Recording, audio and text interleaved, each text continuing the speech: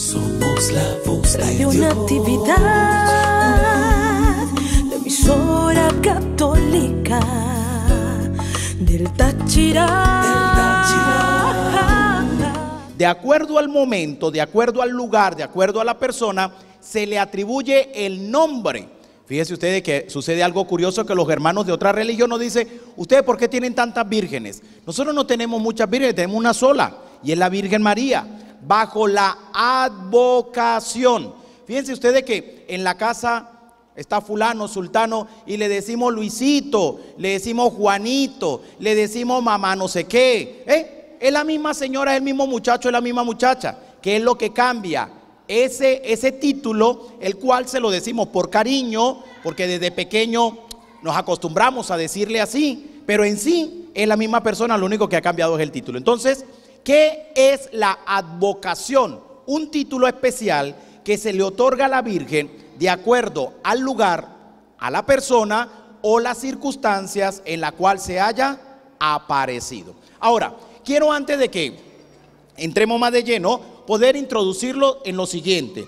De la Virgen María nosotros podemos ver varias circunstancias o ver, eh, a ver, eh, varios, varios, varios momentos, pero de manera especial quiero reflexionar en dos aspectos que creo que nos pueden ayudar sobre lo que es la Virgen María para nosotros los católicos cristianos. Uno, tomar en cuenta a María Santísima como modelo de entrega a Dios, y ya se lo voy a fundamentar en la palabra. Y dos, María, modelo de alegría.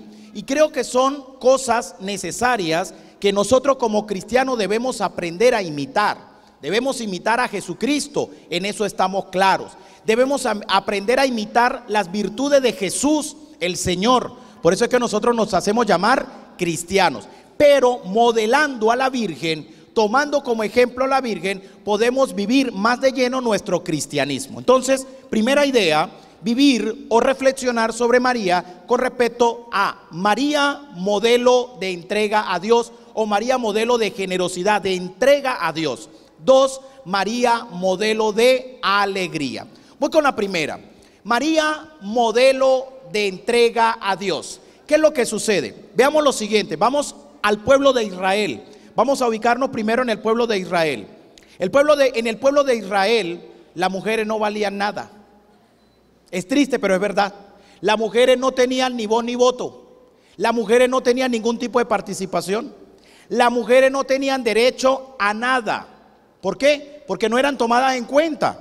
¿Quiénes eran tomados en cuenta en el pueblo de Israel? Los hombres. Y si era un letrado, un conocedor de la Sagrada Escritura, un artesano o algo así, era tomado más en cuenta. Y de paso, María era de un pueblo llamado Nazaret. ¿Qué, qué, qué- qué importante era Nazaret? Nazaret era un pueblo de paso, era un pueblo de, de eso cuando uno va de camino, se para un momento a tomarse un café y sigue. Ese era Nazaret, menos aún todavía. Si la mujer no tenía peso en el pueblo de Israel y esta mujer es de Nazaret, ay, si es que menos. O sea, ni la una ni la otra. Es más, María era considerada de los anahuín. que eran los anahuín? Los pobres de Yahvé, los pobres de Dios. Es decir, ella pertenecía a la población de Israel que era abandonados, que eran exiliados prácticamente, que eran eh, sacados de la sociedad de ese momento y eran llevados hacia un lado. Eran como los que no tienen importancia, como los que no valen la pena, como los que no tienen peso. María pertenecía a ese grupo, los anahuín, los pobres de Yahvé. Y algo bastante interesante que nosotros podemos reflexionar a la luz de la palabra y de lo que la iglesia nos enseña es cómo Dios toma a María Santísima de esa población insignificante, entre comillas, de esa población que no tenía peso dentro de la sociedad israelita, dentro de esas mujeres que no valían mucho, que no eran tomadas en cuenta, cómo Dios saca a la Virgen para hacerla una gran mujer. ¿Por qué? Porque se humilló, porque era obediente, porque era servicial, porque estaba atenta y sobre todo porque era modelo de entrega. Fue una mujer que desde niña, adolescente, se entregó a las manos de Dios. ¿Qué significa entregarse a las manos de Dios? Entregarse a la mano de Dios significa que fue obediente a las enseñanzas de la Sagrada Escritura. Obediente. Se lo voy a fundamentar en la palabra para que quede más claro. Si revisamos la palabra de Dios en el Evangelio de San Lucas, en el capítulo 1, versículos en adelante, 1 y siguiente, vamos a encontrar nosotros la narración de lo que conocemos, hemos escuchado muchas veces como es la anunciación.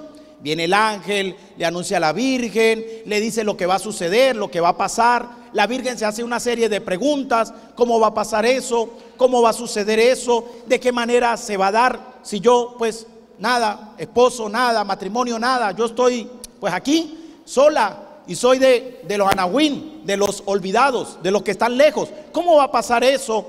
El ángel le responde, le dice cómo va a suceder, el Espíritu Santo va a venir, se va a apoderar de usted, va a hacer su obra y demás. Y mire lo que la Virgen le dice al ángel. Mire lo que la Virgen le dice al ángel. Respondió María, la palabra de María al ángel.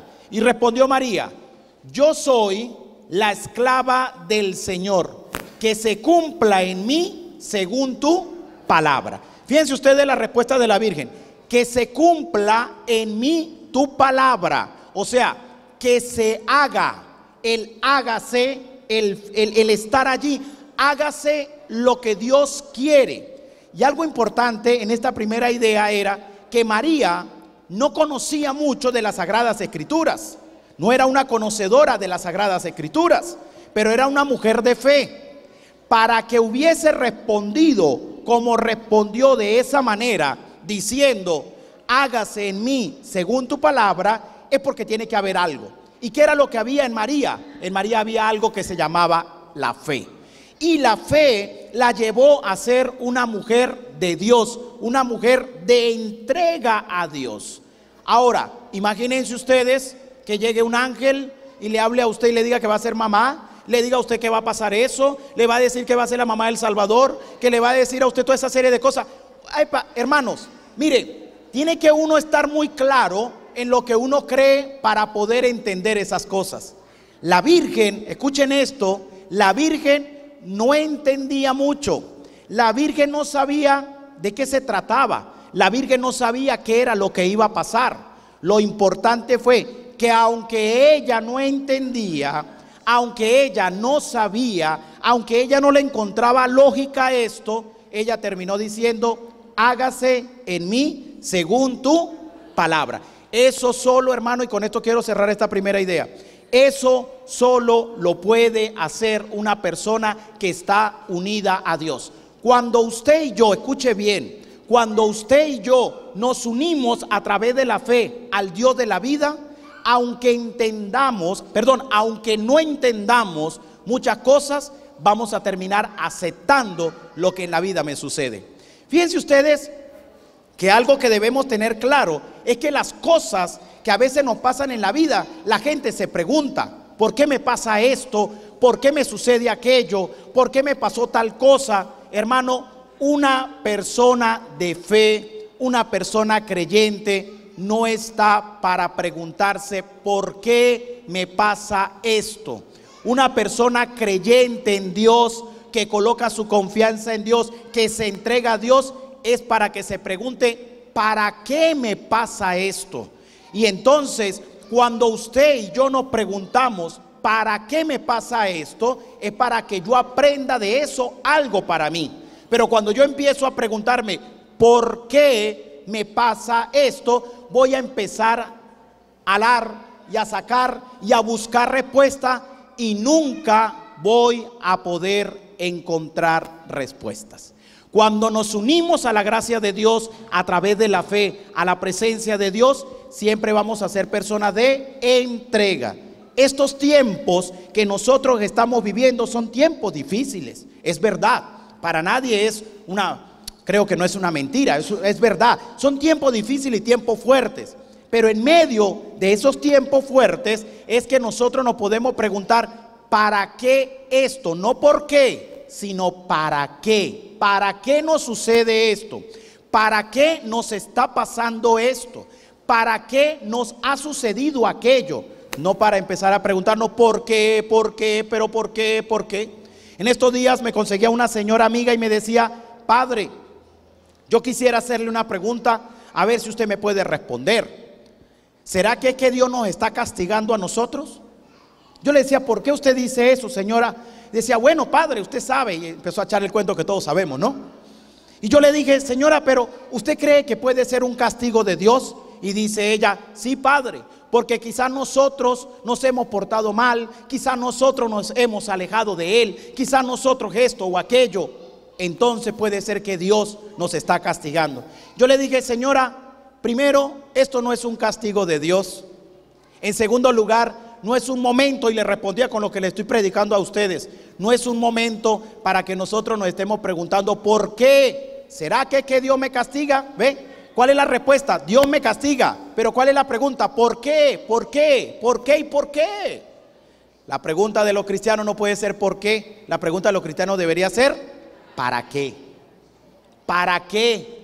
Las cosas, hermano, escuche bien, las cosas que nos pasan en la vida, aprendamos a darle una vuelta. ¿Y cuál es la vuelta? ¿Para qué me pasó aquello? ¿Para qué me sucedió aquello? Y entonces yo lo adopto a mi vida y algo tengo que aprender de eso. Algo tengo que sacar de eso. Algo me tiene que pasar de eso. Recordemos la historia de la Virgen. ¿De dónde sale la Virgen? ¿De un imperio? No. ¿De dónde sale la Virgen? ¿De la sociedad grande y maravillosa del pueblo de Israel? No. ¿De dónde sale la Virgen? ¿De las mujeres más deseadas por el pueblo de Israel? No. Salió de los laterales del pueblo, de la gente olvidada, es decir, de la humillación, escuche bien hermano, de la humillación Dios exaltó, de la humillación Dios levantó, de la humillación Dios pudo proclamar su gloria, de la humillación Dios derramó su gloria en medio del pueblo de Israel. Pero solo sucede cuando somos capaces de entregarnos a través de la fe. En medio de esa entrega, es de donde Dios va a sacar cosas grandes. Ojalá nosotros aprendiéramos eso. Yo creo que todos los que estamos aquí somos cristianos. Creo yo, ¿no? Creo yo que todos somos cristianos, ¿no? Creyentes. Una de las cosas que nos tiene que caracterizar a nosotros los cristianos es la esperanza. Eso nos tiene que caracterizar. Una persona de fe se entrega como la Virgen. Una persona de fe tiene esperanza porque confía en algo que es su misma palabra. Si no, entonces no somos cristianos y menos aún seguidores de la Virgen. Solo aquel que pone su confianza en Él puede colocar de verdad creencia en que esto se cumple y que la Virgen nos acompañe y nos ayuda. Amén. ¿Queda claro esa primera idea? Entonces, primera, María es modelo de entrega. ¿No escucho María es modelo de? entrega, de generosidad. Me, eh, en palabras sencillas, Padre, díganoslo en palabras sencillas. María es modelo de donación a Dios. Lo que nosotros solemos decir aquí en los Andes, a la mano de Dios. A la mano de Dios. Eso es, generosidad, entrega es, Señor, a las manos. Coloco todo en tus manos. No sé cómo va a ser, no sé cómo va a suceder, no sé cómo va a pasar, no sé cómo se va a dar Solo sé, Señor, que lo coloco todo en tus manos. Eso lo hace una persona que tiene fe. Y ella lo hizo. Por eso la imitamos. Por eso hacemos lo que ella nos enseña. Por eso tratamos de ser como ella para poder llegar a Él. Porque ella es el camino para poder llegar a Jesucristo. Segunda y última idea. María es modelo de alegría. Escuchen esto. María es modelo de alegría. La alegría no es estar echando chistes. Yo vengo insistiendo mucho en eso. Ay, esa persona sí es alegre. Y eso se sienta aquí y es el alma de la fiesta. No, esa no es la alegría. Eso es una expresión de la alegría. Pero eso no es la alegría como tal. Porque si eso, escuchen bien, si eso es alegría, entonces vamos a ver cómo se porta usted y cómo me porto yo en los momentos difíciles. Vamos a ver cómo nos portamos todos en los momentos cuando nos llega el agua en el cuello. Y no es que usted una persona alegre, eche un chiste, pues. ¿Cómo le ocurre, padre, que va a echar chiste? ¿No ve que tengo el agua en el cuello? Bueno, no es que usted es alegre. Eche el chiste para reírnos todos aquí. Entonces, eso no es alegría.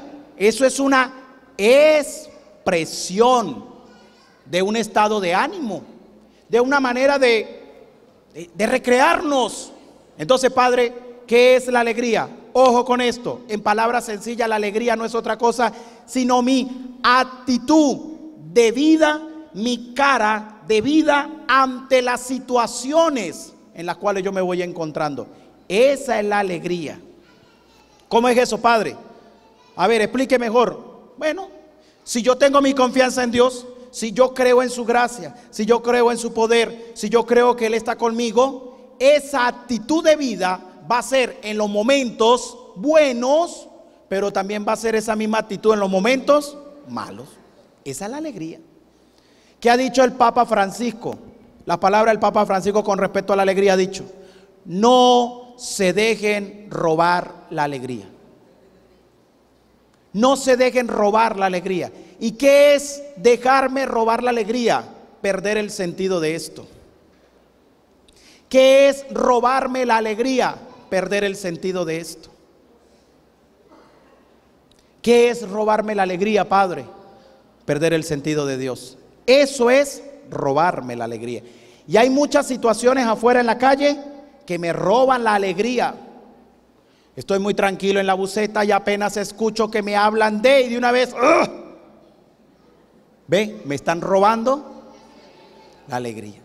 Estoy en mi casa y de repente escucho a fulano de tal diciendo X cosa y de una vez, ve, me están robando la alegría. Estoy en la casa viendo televisión y de repente sale fulano de tal hablando y una ¡ah! me roban la alegría. No sé si usted me está entendiendo. Amén. Le damos un aplauso fuerte al Dios de la vida. Está quedando claro lo que significa la alegría. Mi hermano, aprenda esto. La alegría del Evangelio, escuche bien, la alegría del Evangelio es sentir que hay un Dios que me ama. Esa es la alegría del Evangelio. ¿Y usted por qué está contento? Bueno, porque Dios me ama. ¿Y usted por qué está contento? Porque Dios me bendice. ¿Y usted por qué está contento? Porque Dios me da su fuerza para echar para adelante. ¿Y usted por qué está contento? Porque yo sé que Dios está conmigo en todo momento. Por eso estoy contento. En los momentos felices, sí, igualito. Y en los momentos de cuando el agua está aquí, también. Quizás la expresión no es tan positiva, pero mantengo mi posición positiva ante las situaciones que se me van presentando.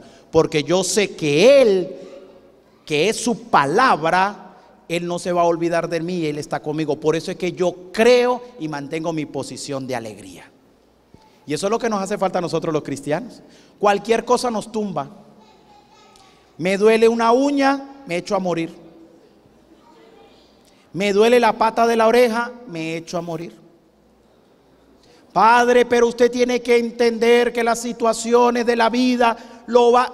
Yo estoy diciendo que no, sí, pero lo que quizá muchos de ustedes me han escuchado hablar, es normal que los problemas golpeen su vida.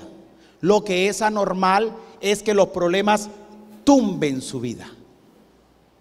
A mí me puede afectar X problema, pero a mí no me debe tumbar eso.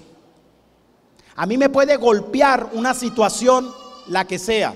Me puede golpear, pero no me puede tumbar.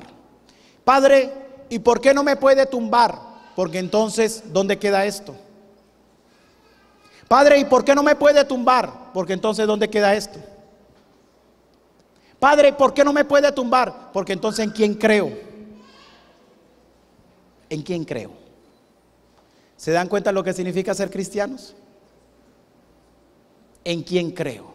Bueno, Padre, pues en Dios. Entonces demuéstreme que cuando le lleguen los problemas de su vida, a usted lo golpean, pero no lo tumban. Demuéstremelo. Yo tengo gente que va mucho a misa. Va mucho a misa, mucho. Y eso reza todos los días. Y le reza a la Virgen y bendito sea Dios. Y hacen obra de caridad y todo. Pero le pica una hormiga, una hormiga en el dedo chiquitico de la mano. Y de una vez, ay padre, usted supiera lo que me pasó, padre, en estos días. ¿Qué le pasó? Y es que si le contara, ¿qué me va a contar? No, es que cáigase, cáigase. Pero dígame, me picó una hormiga. Una hormiga. No sé si con eso le estoy explicando lo que quiero decir. ¿Y su fe dónde queda? ¿Y su fuerza en Dios dónde queda? La guadalupana. Demuéstreme que usted cree en la guadalupana. Demuéstremelo. Y se lo voy a fundamentar en la palabra de Dios. Mire lo que dice la Sagrada Escritura para que vea que no es mentira. Para que no vayan a decir, ¿de dónde sacaron ese padre hablando todo ese poco de cosas? Se lo voy a fundamentar en la palabra. Resulta que María Santísima, después que le dijeron que iba a ser mamá, se fue por donde la prima Isabel. ¿Sí sabían ustedes, no? ¿Sí, sí le contaron o no? Sí, hay gente que todavía no le han contado. ¿Qué podemos hacer, no? Se fue donde la prima Isabel. Fue a visitarla. Escuche esto. Se fue a visitarla.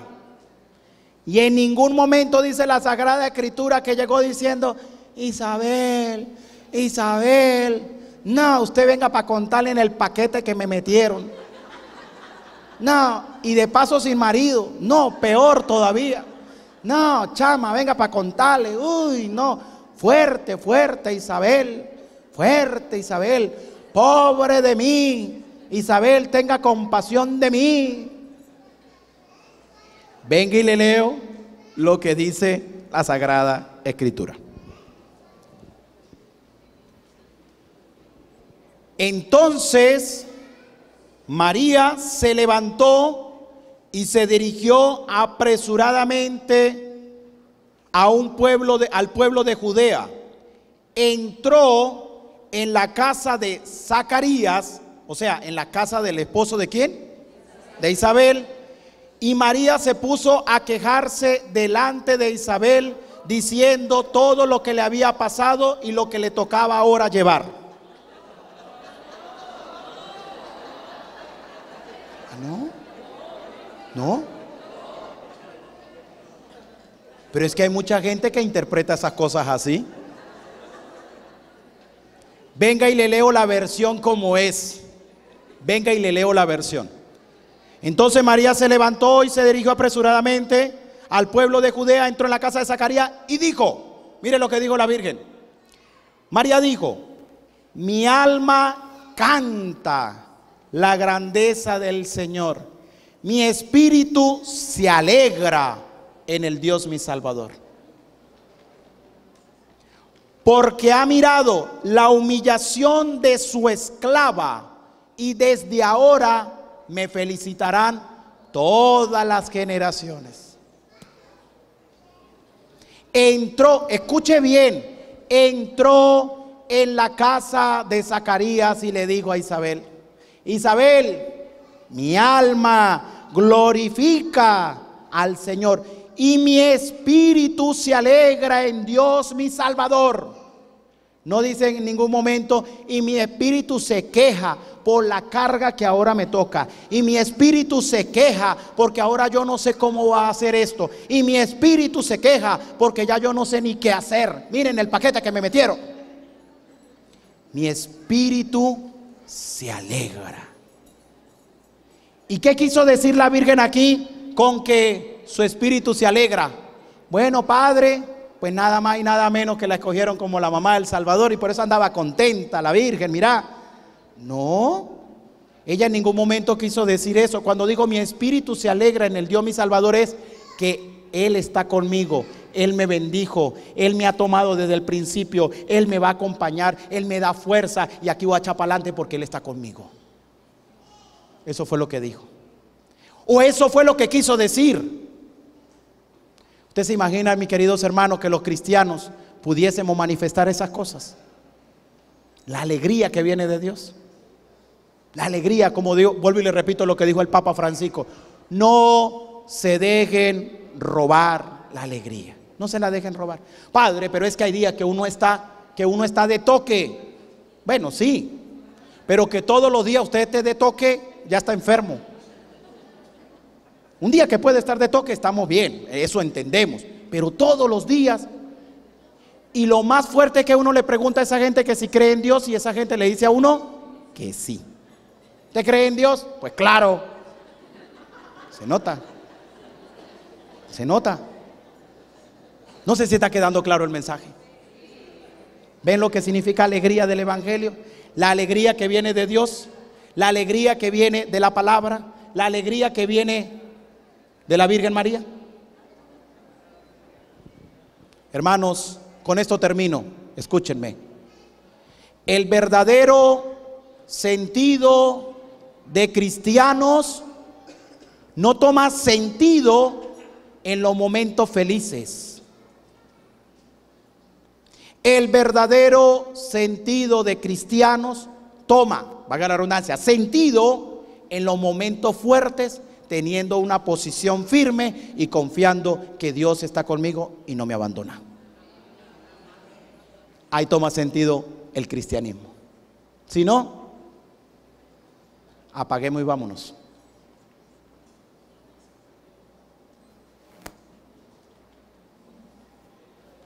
¿Quedó claro? Dígame. Pues claro. A la luz de la palabra. Entonces, repasamos. A ver, porque a mí me gusta preguntarle a la gente. Después que predico, yo le pregunto a la gente.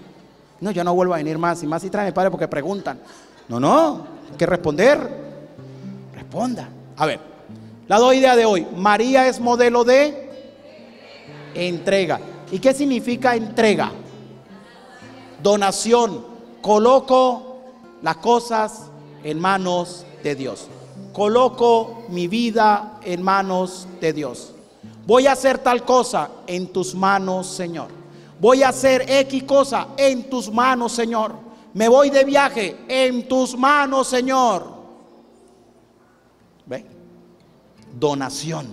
Segunda idea. María es modelo de alegría. ¿Y qué es la alegría?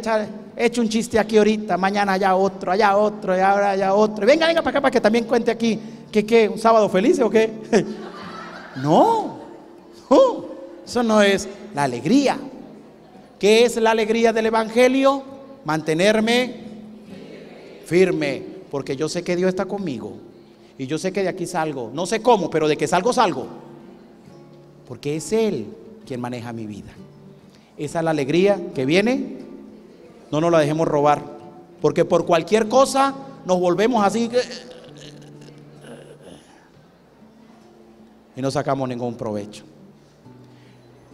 ¿Qué le parece si oramos cortico? Con la Virgen, ¿le parece? Porque vinimos a la Guadalupana, ¿no? Vamos a orar con la Virgen. Vamos a, vamos a, vamos como a tomarla de la mano. Y vamos, María Santísima, ayúdeme, deme fuerza, deme el entusiasmo que necesito. Que así como ella entró a la casa de Zacarías y dijo, mire, así yo pueda tener mi vida